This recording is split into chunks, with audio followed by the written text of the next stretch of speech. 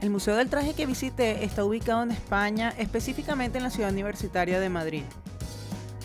Actualmente y hasta el 30 de diciembre de 2021 la entrada es gratuita.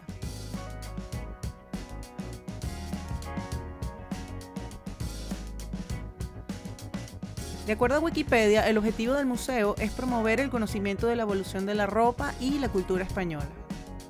El paseo dentro del museo está organizado en orden cronológico y se divide en 11 partes.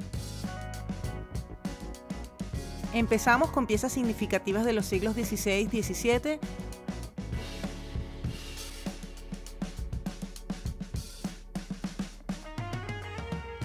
y continuamos con la colección del siglo XVIII, la cual tiene excelentes piezas conservadas de la época.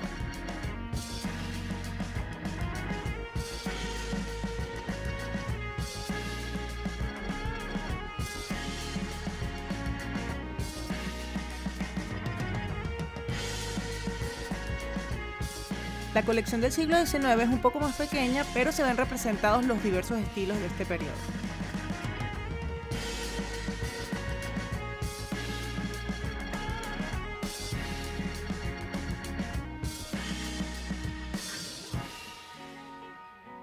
El Museo del Traje no solo cuenta con piezas de ropa, sino que también tiene una colección importante de accesorios y joyas.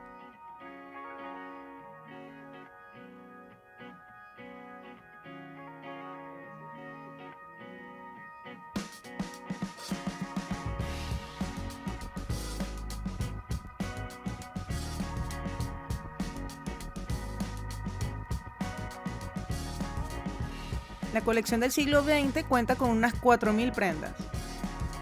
El recorrido de esta etapa inicia con piezas del icónico diseñador español Mariano Fortuny y Madrazo.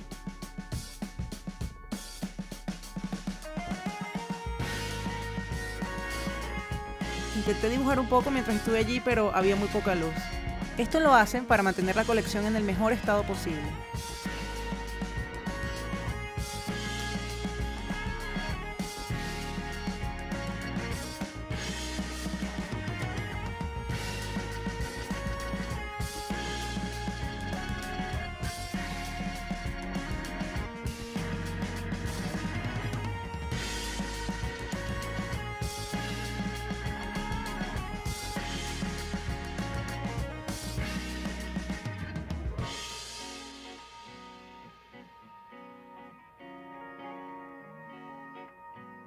Ver ilustraciones de moda originales fue muy inspirador para mí.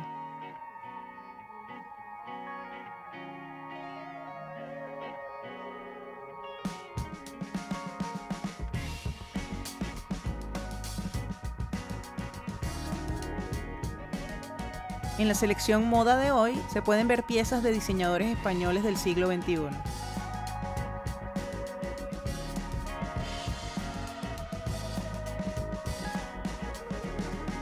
También se puede hacer un recorrido que muestra cómo han cambiado las siluetas a través de los años.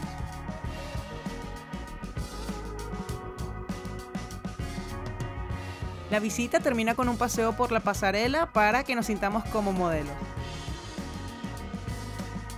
Esta no es la primera vez que visito el Museo del Traje, es uno de los lugares de Madrid que más me inspira.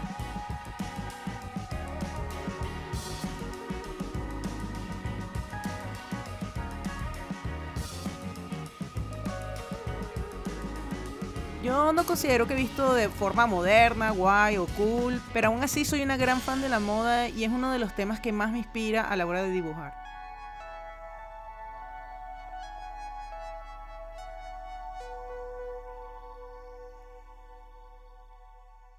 En el museo dibujé estas tres piezas. Mi idea era poder grabar todo el proceso de dibujo en el museo, pero no pude.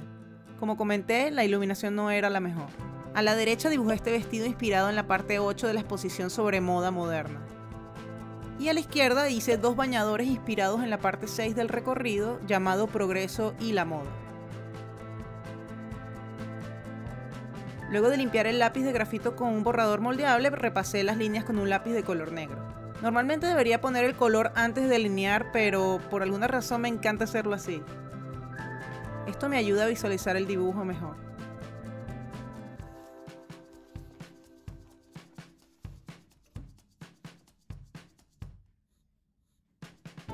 Para esta página pensé que podría usar una paleta de colores rojo y azul.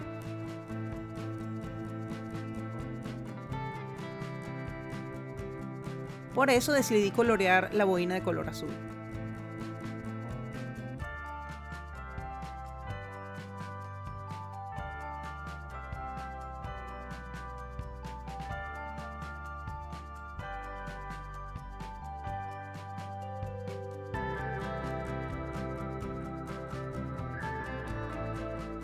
Después de poner alguna sombra y volver a delinear, aquí está el resultado final. Lo combiné todo con un gris que era el color de los ganchos de ropa en el museo.